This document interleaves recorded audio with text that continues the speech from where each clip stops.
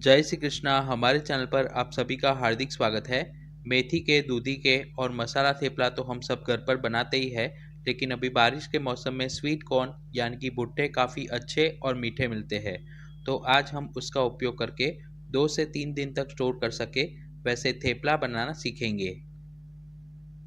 थेपला बनाने के लिए मैंने दो नंग बड़ी साइज़ के यानी कि वज़न के मुताबिक आधा किलो फ्रेश स्वीट कॉर्न लिए हैं और उसके ऊपर जो छिलका और रेशे है, उसे निकाल दिया है।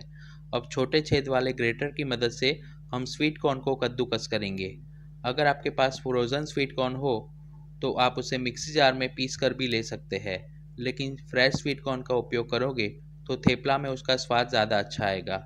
जिस समय पर आपको थेपला का आटा गूंदना हो, उसी समय पर उसे कद्दूकस करें। अब मिक्सिंग बोल में हम दो कप यानी कि 250 ग्राम गेहूँ का आटा लेंगे। आटे को छान कर ही ले। हम जो रोटी बनाने के लिए आटे का उपयोग करते हैं, वो ही लेना है। अब उसमें कद्दूकस किए हुए स्वीट कॉर्न ऐड करेंगे। ये मेज़रमेंट के मुताबिक हम 10 नंग थेपला बना सकते हैं। मसाले में आधा चम्मच हल्दी पाउडर, दो चम्मच सफ़ेद तिल और तिखास के लिए एक से डेढ़ चम्मच या स्वादानुसार अदरक और हरी मिर्च का पेस्ट ऐड करेंगे। उसके साथ पाव चम्मच हींग और स्वादानुसार नमक ऐड करें। थेपला को लंबे समय तक सॉफ्ट रखने के लिए उसमें मोहन के लिए दो चम्मच तेल ऐड करेंगे और हाथ की मदद से सभी इंग्रेडिएंट्स को अच्छे से मिक्स करेंगे। स्वीट कॉर्न में जो नेचुरल मॉइस्चर है, उसके कारण ही आटा अच्छे से गूंज जाएगा। हमें एडिशनल पानी ऐड करने की ज़रूरत नहीं पड़ेगी। ये आटा गूंदते वक्त हम लाल मिर्च या धनिया पाउडर का उपयोग नहीं करेंगे। इस तरह से मीडियम सॉफ्ट आटा लगाने के बाद उसके ऊपर आधा चम्मच जितना तेल ऐड करके हल्के हाथों से उसे मसलेंगे। इसके अलावा भी स्वीट कॉर्न में से बनने वाली और भी कई सारी रेसिपी मैंने चैनल पर पोस्ट की है, जिसका लिंक ऊपर आई बटन पर और वीडियो के एंड स्क्रीन पर दिया है। अब जो आटा गूंद कर रखा था, उसमें से हम मीडियम साइज़ की लोई बनाकर तैयार करेंगे।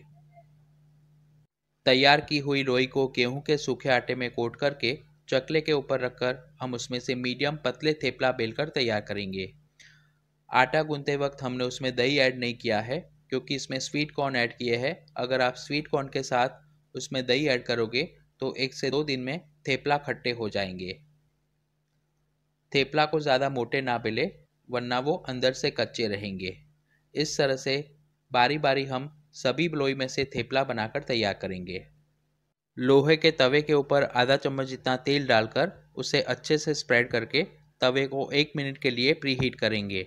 फिर उसके ऊपर बेला हुआ थेपला रखकर दोनों साइड से उसे लो फ्लेम पर सेक लेंगे। थेपला बिल्कुल भी कच्चे ना रहे, उसके मुताबिक आवश्यकता के अनुसार तेल डालकर दोनों साइड से अच्छे से सीख ले। एक बार थेपला को सेकने में डेढ़ से दो मिनट का समय लगता है। उसे ज़्यादा ना सेके, वरना वो खाखरा जैसा कड़क हो जाएगा। थेपला अच्छे से सीख जाए, फिर उसे हम स्टील की रैक के ऊपर निकालेंगे। गर्मा गर्म थेपला को मैंने दही के साथ सर्व किया है। आप चाय, आचार या चटनी के साथ भी खा सकते हैं। तो आप भी ये रेसिपी घर पर ज़रूर ट्राई करें। वीडियो पसंद आया हो तो उसे लाइक और शेयर करना ना भूलें और चैनल को सब्सक्राइब करके बेल आइकन पर क्लिक करें। Thanks for watching this video.